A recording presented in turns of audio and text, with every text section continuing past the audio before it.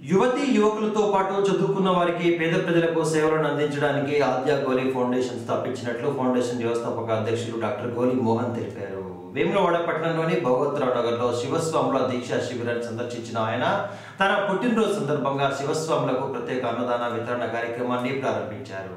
ఆద్య Goli foundation ఆధ్వర్యంలో వేములవాడ నియోజకవర్గ వ్యాప్తంగా యువతి యువకులతో పాటు పలువురికి అనేక రకాల సేవా కార్యక్రమాలు నిర్వహిస్తున్నారని గోలీ ఫౌండేషన్ చైర్మన్ డాక్టర్ గోలీ మోహన్ తెలిపారు.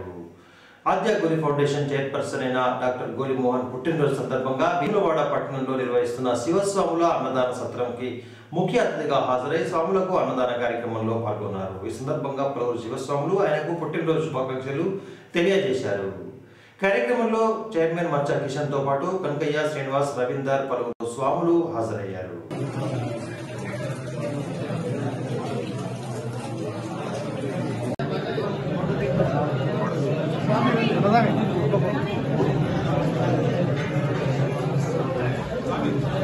ఈరోజు మన సత్రానికి డాక్టర్ గోలి మోహన్ గారు ఈరోజు రోజు అన్నదాతగా అన్నదానానికి పదివేల ఒక రూపాయలు ఇచ్చి సహకరించిన గోలి మోహన్ పుట్టినరోజు సందర్భంగా వారికి మా శివదీక్ష సేవా సమితి ట్రస్ట్ తరఫున మా శివసభల తరఫున వాళ్ళు నిండు నూరేళ్ళు ఆయన ఐక్యాలు వర్ధి 我们怎么吃饭呀